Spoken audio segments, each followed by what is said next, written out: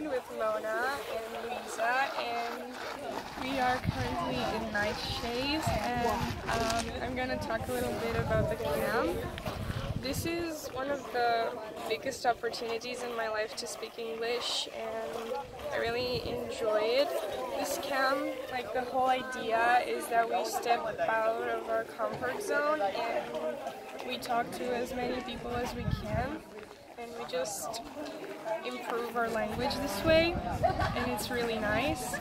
Um, we visited a lot of cool places and saw a lot of really, really nice architecture and um,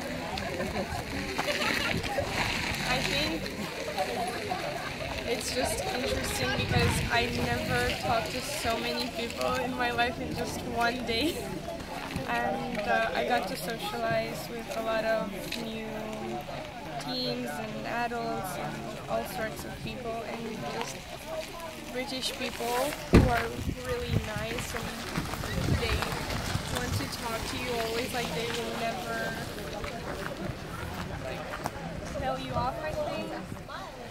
They won't ever do that because they're really nice. Yeah. So this was it. Thanks for listening to me. Um,